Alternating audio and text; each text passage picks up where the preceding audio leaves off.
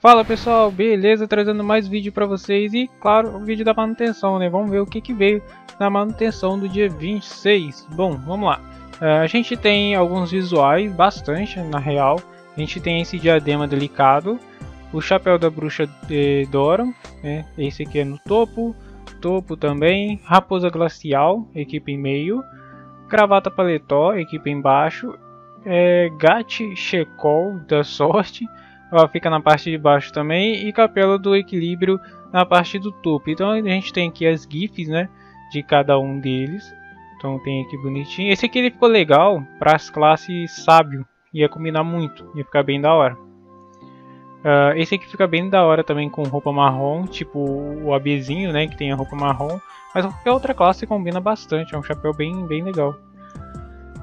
Esse aqui já é meio mais ou menos, né? Vai depender muito dos seus visuais para ver se realmente vai combinar. Ele olhando assim, só por olhar, não agrada tanto. Mas depende dos combos de visuais que você vai fazer. Às vezes alguns combos surpreendem. Uh, tem esse cachecol aqui, né? Do gatinho. Bem legal também. Dá para combinar com um chapéu. É, que é marrom. E tem esse aqui que é tipo uma gravatinha. Como fosse tipo um estudantezinho. Né? São, são esses visuais novos. Opa, eu tava esquecendo esse aqui. Esse aqui eu achei bem legal, cara, porque ficou uma parada bem fantasia, sabe? É, tava tão acostumado só com cachorro, gato, cachorro, gato e coelho, né? Bichos normais, digamos assim. Eles colocaram uma raposa aí com uma cor mais diferenciada, né? Com azul por cima. Foi tipo um bicho de fantasia. Mas ficou bem legal. Para algumas classes que tem umas cores mais específicas nas roupas, talvez combine um pouco mais. Uh, então são esses visuais novos que tem. A gente tem alguns visuais antigos também que estão na loja de roupas e alguns equipamentos. Equipamentos novos não tem, mas tem os equipamentos, dois equipamentos que talvez possa lhe agradar ou não. Bom, os visuais antigos são esses aqui. Então a gente tem esse chapéu biológico. Então tem aqui Bio, é biológico, achei que era biólogo, é biológico mesmo. Uh, tem ó, é tipo aquela gravatinha, só que é como fosse de marinheiro né? Ele fica na parte de meio baixo, se não me engano. Tem esse aqui, o manto risonho, ele é bem legalzinho, vai depender muito da sua roupa também. Por exemplo, para arcano combina bastante. Tem certas classes que não combina tanto. Mas aí vai depender da sua gameplay, é, qual a história do seu personagem, se você joga baseado nisso e assim por diante. Essas orelhinhas eu acho bem da hora ela, ela é bem legalzinha, orelhinha felpuda. Então, são esses itens aí. É, equipamentos, né? A gente tem esse balão da família Poring e a espada Onimaru. São os é, equipamentos que a galera já conhece bastante. É, balões da família Poring, né? Ele dá taxa de drop mais 10% e XP adquirida por monstros mais 5%. Ele equipa é, na parte de baixo. Então, um equipamento bem simples aí para a parte de taxa de drop. Você com ele, mais é, parte de, de é, aquela goma de mascar e outros itens para você tentar dropar alguma carta ou algum item específico em algum mapa, né? Então é um, é um item, digamos assim, específico para você fazer algo em si.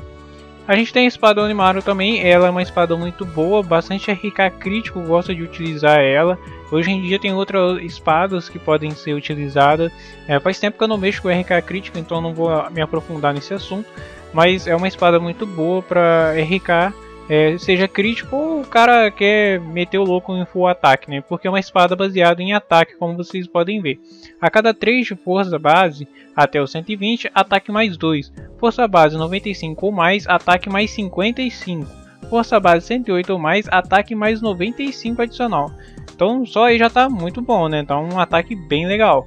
Força de base 120 ou mais, ataque mais 175 adicional.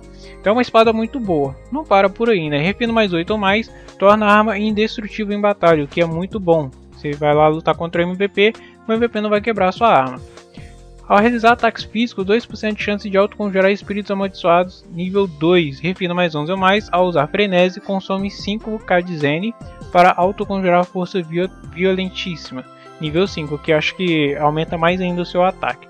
Então, cara, é uma espada muito boa. Você pode ver que ela é destinada a cavaleiros rúnicos. Então você pode estar fazendo uma build full ataque ou ataque crítico. Geralmente ataque crítico é melhor porque você não tem chance de errar. Então é uma boa espada. Uh, foram esses itens que tem na loja de roupas, bem tranquilão. Uh, no, a parte de eventos, né? A gente tem o evento log ganha ativo ainda. É, nada mudou, é aquele log ganha mesmo que a gente já sabia.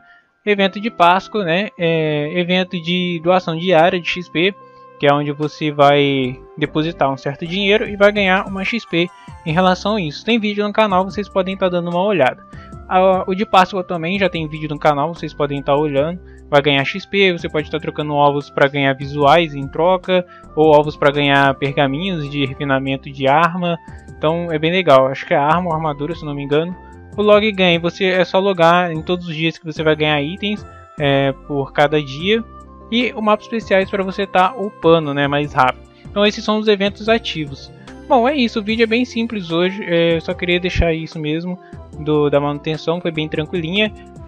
Outra coisa é que logo logo vai vir o update, como vocês já viram no Capra News, né? Ah, mas eu não vi não. E aí, como é que é?